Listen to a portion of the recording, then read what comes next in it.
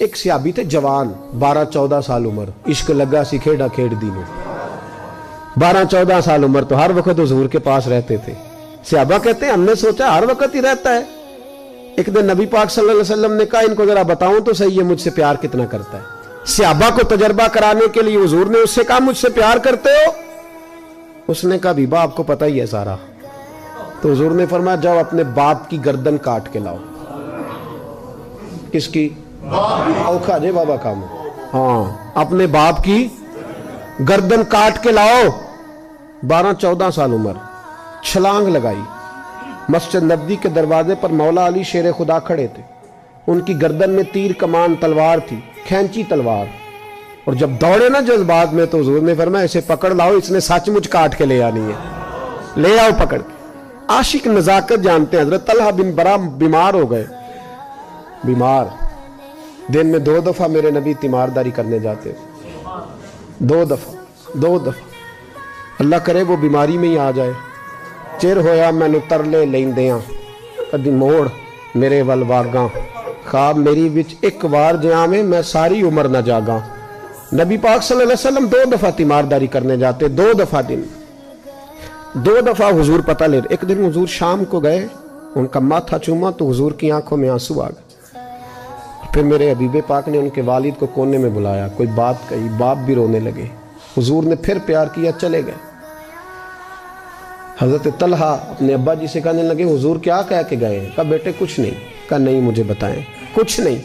रिश्ता ही बड़ा नाजुक नहीं, बताएँ। तो बाप ने सर पे हाथ रखा, कहा, हुजूर कह गए हैं तो आज शाम को फौत हो जाएगा।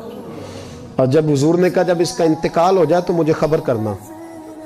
वालिद को चार पर पे बिठा के तो हजरत तलहा ने हाथ पकड़ लिया इश्क त्याग दो में एक बराबर पर इश्क द सेक वधेरा अग ते साड़े कख ते काने इश्क साड़े तन मेरा ਉਹ ਅੱਗ ਦਾ दारू ਮੀਂਹ ਤੇ ਪਾਣੀ ਮੈਨੂੰ ਕੋਈ ਦੱਸੇ ਇਸ਼ਕ ਦਾ दारू ਕਿਹੜਾ ਬੁੱਲੇ ਸ਼ਾਹ ਉੱਥੇ ਕੁਝ ਨਹੀਂ ਬਚਦਾ ਜਿੱਥੇ ਇਸ਼ਕ ਹੋਰਾਂ ਦਾ ਡੇਰਾ हाथ पकड़ा बाप का और कहने लगे अब्बा जी एक वादा करो रात को जब मैं फौत हो जाऊं तो नबी पाक को इतला नहीं देनी खबर बेटे, हुजूर कह गए देनी है, तू कहता, नहीं देनी। क्यों? तो आशिक नजाकत जानते हैं, अगरचे बारह चौदह साल उम्र थी, पर इश्क पक्का था ना? नजाकत समझते थे। कहने लगे, अब्बा जी, जिन गलियों से हुजूर ने गुजर के आना है, वो यहूदियों की गलियाँ हैं। ऐसा ना हो, मेरे जनाजे की खातर हुजूर गुजरे और कोई मेरे नबी को तकलीफ़ दे दे। इसलिए खबर नहीं करनी मुस्तफ़ा को। आप जनाजा पढ़ के दफना देना। रात को इंतकाल हुआ, बाप ने जनाजा पढ़ा, दफन किया, सारा कुछ जानने वाले रसूल आए। कहा, मुझे बताया क्यों नहीं?